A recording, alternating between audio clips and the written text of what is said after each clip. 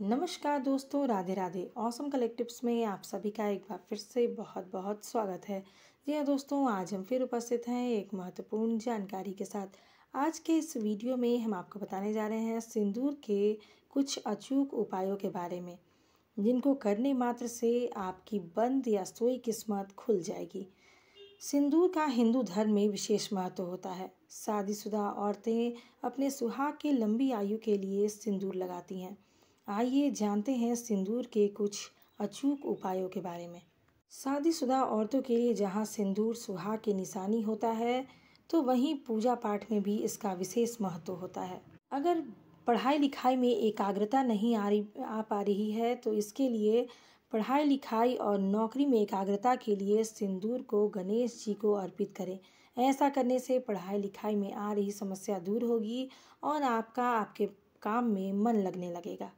वहीं दोस्तों, आर्थिक समस्या के लिए क्या करना चाहिए? अगर आप आर्थिक समस्या से भी जूझ रहे हैं तो माँ लक्ष्मी की पूजा करते समय उन्हें नारियल पर सिंदूर लगाकर लाल कपड़े में लपेट कर अर्पित करें।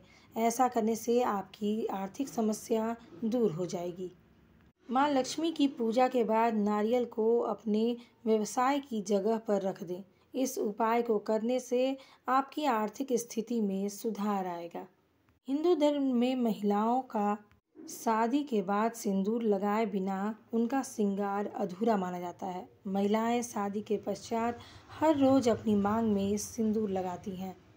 वहीं दोस्तों, सिंदूर का उपयोग कई धार्मिक कार्यों में भी किया जाता है। इसके अलावा हनुमान जी को भी सिंदूर चढ़ाना बेहद लाभकारी माना गया है। अगर आप मंगलवार या शनिवार के दिन हनुमान जी को सिंदूर चढ़ाते हैं तो हनुमान जी इससे प्रसन्न होकर आपकी सारी मनोकामनाओं को तुरंत पूरा कर देते हैं। तो दोस्तों, कैसी लगी हमारी आज की जानकारी?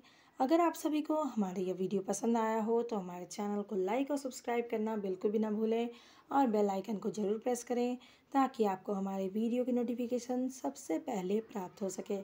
धन्यवाद दोस्तों राधे राधे